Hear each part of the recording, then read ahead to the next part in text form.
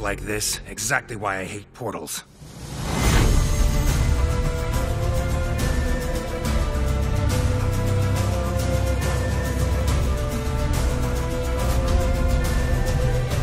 Come on, let's do this.